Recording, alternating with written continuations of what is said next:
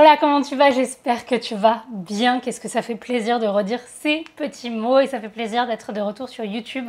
Euh, pour ceux qui ne le savent pas déjà, je suis devenue maman il n'y a pas longtemps et donc forcément j'étais en congé maternité suivi d'un congé parental pour m'occuper de ma fille. Et euh, bah, du coup j'ai du mal à trouver le temps pour les vidéos mais je vous promets que c'est bon, c'est terminé. Euh, ma fille est désormais bientôt chez la nounou, donc je vais pouvoir euh, reprendre le rythme des vidéos, de vous en faire une par semaine. En attendant, si vous aviez un petit peu de manque de contenu, euh, que ma tronche vous manquait peut-être, et eh ben je poste très régulièrement sur TikTok. Donc si vous voulez me suivre, je vous mets le lien en barre d'infos. En plus, j'ai vraiment besoin de soutien parce que j'ai du mal à comprendre un petit peu comment fonctionne TikTok. Et donc voilà, si vous pouvez juste me suivre là-bas, il y a plein de petites vidéos de manière beaucoup plus régulière que sur YouTube. Donc je vous laisse le lien juste en barre d'infos. Sinon, c'est Lina Kaiser Photographie, absolument partout comme d'habitude. Sinon, du coup, il y a beaucoup de personnes qui m'ont demandé, enfin qui ont pris des nouvelles par message et qui m'ont demandé euh, est-ce que ça a justement empathie mon, mon activité, le fait d'être aussi absente, le fait de ne pas pouvoir poster aussi régulièrement, etc. Et euh, ça m'a fait penser à une vidéo que je voulais vous faire depuis un moment, qui est la vidéo d'aujourd'hui du coup, sur l'importance du branding personnel. Euh, parce que personnellement, moi je pense que c'est un des points qui a fait que ça a sauvé euh, le fait de ne pas être présente et pas être très actif pendant un moment. C'est qu'en fait j'ai tellement travaillé pendant des années sur mon branding et sur l'image de marque que j'avais que même si la régularité des fois est pas là pendant un petit moment, bah, l'image de marque reste et donc du coup les gens qui sont euh, fidèles à mon contenu sont restés. Et franchement, pour ça, je vous dis vraiment merci. Et du coup, je voulais vous parler un petit peu de l'importance de ça, de créer une image de marque forte euh, dans votre activité, que ce soit de photographe, de vidéaste, etc. Alors restez bien jusqu'à la fin de la vidéo parce que j'ai quelques astuces à vous partager. Déjà, on va commencer par le commencement. Qu'est-ce que c'est que le branding personnel? Parce que branding, c'est un mot anglais, ça veut dire la marque, quoi. Et donc, euh, branding personnel, c'est l'image de marque. Donc, autrement dit, c'est l'image que tu renvoies à ton audience, à tes prospects, à tes potentiels clients. C'est la façon dont ces personnes-là te perçoivent sur Internet, parce que globalement, c'est via euh, Internet qu'ils vont te découvrir. Et donc, ça englobe bah, ta présence sur les réseaux sociaux, ça englobe ta, ton esthétique visuelle, ta communication, ton style et même la manière dont tu interagis ensuite avec tes clients. Le but du branding, en fait, c'est de te démarquer des autres photographes, des autres euh, concurrents, tout simplement, euh, en montrant qui tu es toi et en créant une image qui va être toi. Là où je trouve ça important, c'est parce qu'il y a beaucoup de photographes qui euh, arrivent dans un milieu qui est assez bouché, par exemple photographe de mariage, et qui ont du mal à trouver des clients, à se faire connaître, qui ont du mal à comprendre d'où ça vient parce que euh, ils ont un bon portfolio, ils ont des bons tarifs, etc. Et en fait, là où euh, moi je pense que ça peut pêcher parfois, c'est qu'ils n'ont pas une image propre. C'est que c'est un photographe de mode, euh, un photographe de mariage pardon, parmi tant d'autres, et on a du mal à identifier qui vous êtes et donc le client, il a du mal à se projeter avec vous et à prendre la décision de pourquoi lui plutôt qu'un autre. Donc quand tu es en compétition avec des centaines d'autres photographes, c'est ça qui va faire la différence. C'est ton image de marque et qui tu es. Pourquoi un client, il choisirait tes services plutôt qu'un autre qui a exactement les mêmes tarifs, qui fait des bonnes photos, etc. C'est le fait qu'il va avoir un feeling avec ta personnalité, avec ton esthétique visuelle, avec la manière dont tu interagis avec lui. Et tout ça, c'est aussi important que ton travail de photo. Le fait d'avoir une image de marque travaillée, ça permet aussi de justifier tes tarifs. Euh, quand tu veux, par exemple, travailler avec des clients de luxe, si les textes que tu utilises, si l'esthétique de ton site internet, tout ce qui est le branding, l'esthétique visuelle, n'est pas euh, luxe, bah, du coup, le client va pas trouver euh, de raison valable de te payer euh, un prix de luxe. Donc on passe maintenant aux éléments qui vont permettre de créer ton branding personnel. Il y en a plusieurs et ils sont un petit peu tous connectés. Le premier c'est ton style visuel. Le fait que quand on arrive sur ton site, que tu sois photographe de mariage, de portrait, de chien, etc., euh, quand on arrive sur ton Insta, sur ton site, on comprend et on voit directement quelle est ton esthétique, ça peut être parce qu'il y a des couleurs qui sont récurrentes, une retouche qui est euh, relativement uniforme, ça peut être euh, une composition que tu aimes bien faire, ça peut être plein de petites choses comme ça, des accessoires que tu aimes bien utiliser, mais ton esthétique visuelle, il doit être cohérent tout au long de ton travail. Le deuxième, ça va être ton message. Ça, c'est quelque chose qui est bien souvent trop mis de côté.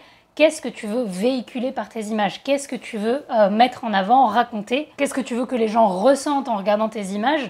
Euh, moi, par exemple, ce que je veux raconter à travers mes images, c'est généralement de la féminité, euh, mais aussi de l'audace, de du charisme.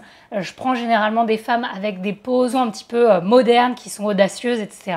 Moi, c'est l'image que j'aime bien, c'est un mélange entre féminité, charme et caractère, par exemple. Troisièmement, ça va être ta présence en ligne que ce soit sur ton site internet, sur ton Insta, sur ton TikTok si tu as un TikTok, sur euh, les, les PDF que tu vas envoyer à tes clients, peu importe, il faut que ton esthétique soit toujours le même. Tu utilises les mêmes types de police, les mêmes couleurs. Il euh, faut vraiment que ton branding soit cohérent tout au long, des plateformes pour qu'on reconnaisse encore une fois ton esthétique visuelle, ton image. Ça renforce ta crédibilité et ton sérieux et ça montre que tu as travaillé ton branding. Et enfin, la dernière, c'est comment tu interagis avec tes clients. Il euh, y a des personnes qui vont être plutôt euh, très relax, qui vont tutoyer direct, qui vont envoyer des SMS. Euh, tu peux décider d'être très professionnel, très formel. Mais ça, c'est également une partie de ton image de marque. Dans tous les cas, il faut rester professionnel et il ne faut pas oublier que l'expérience client, c'est ce qui va faire que tes clients vont revenir et vont te recommander. Donc surtout, ne néglige pas cette partie dans ton boulot. Personnellement, un des éléments que j'ai mis en place pour mon branding personnel, que je trouve plus efficace, c'est d'utiliser mon nom-prénom euh, comme nom de marque euh, de photographe. Ça se fait beaucoup, hein. je suis pas du tout unique et j'ai pas eu une idée de génie en faisant ça. Il y a beaucoup de photographes qui utilisent des noms de marque ou qui utilisent des noms de studio, par exemple, euh, je sais pas moi, je vais dire un nom, je sais pas si ça existe, hein, mais studio Lafonte, studio Lumière, etc. et c'est très bien, hein, je dis pas que c'est pas bien. Moi, l'identité que j'ai voulu, parce que je suis sur les réseaux, parce que je monte ma tête, parce que j'aime la proximité avec les gens et avec mes clients, c'est d'utiliser mon nom-prénom. Quand on me book, c'est moi, c'est Lina Kézar qu'on book, c'est pas mon entreprise. J'ai envie que mon image de marque ce soit moi. Et du coup, parce que c'est ça mon image de marque, forcément, dans le, contact que j'ai avec les clients, dans ce que je montre, bah, j'essaie de montrer des aspects un petit peu de ma vie. J'essaie de, de montrer ma tête souvent sur mes réseaux sociaux parce que je sais que c'est pour ça que les gens me suivent.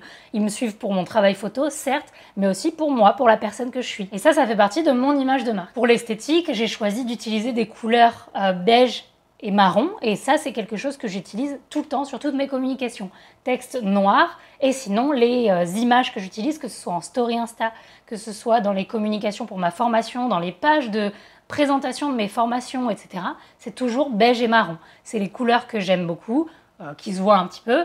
Et euh, du coup, c'est ce que j'ai utilisé dans mon branding et j'utilise toujours les mêmes j'ai sur Canva, j'ai enregistré les couleurs que j'utilise avec les codes et je, réutilise toujours les mêmes couleurs pour mes titres, pour mes sous-titres, pour les bannières, etc. Donc maintenant un conseil pratique pour que tu puisses commencer à créer ton branding, ton image de marque si c'est pas déjà fait. Première étape, ça va être de définir ton style. Tu prends le temps de regarder un petit peu tes photos et les photos des concurrents directs à ton travail et regarde ce qui te plaît dans ton travail par rapport au leur et essaye de faire euh, en sorte que tu reproduises cette formule régulièrement. Deuxièmement, tu peux créer un mood board pour rassembler un petit peu des images d'internet de, plein d'autres euh, créateurs de contenu qui euh, sont dans l'esthétique que tu aimerais achever. Euh, donc ça peut être par exemple parce que toi tu aimes vraiment beaucoup les golden hour, les couleurs chaudes, tu aimes euh, l'ambiance beach, tu aimes plein de trucs comme ça.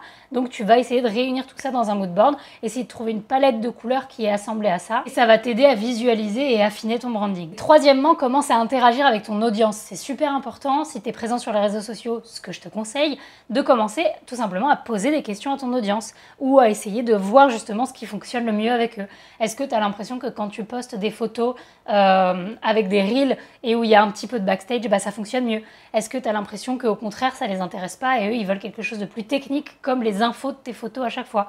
Essaye d'interagir avec ton audience pour comprendre ce qui leur intéresse. Voilà, j'espère que cette vidéo t'a plu. Dis-moi en commentaire c'est quoi la première chose que tu vas mettre en place pour ton branding et s'il y a quelque chose euh, avec lequel tu as du mal dans tout ce qu'on a vu dans cette vidéo. Sur ce, je t'invite encore une fois à me suivre sur Instagram, TikTok, là où je poste beaucoup plus régulièrement, mais surtout sur YouTube si tu veux avoir d'autres vidéos en rapport avec la photo, le business de la photo, la prise de vue, etc. Et moi, comme d'habitude, je te dis merci encore et je te dis à bientôt. Ciao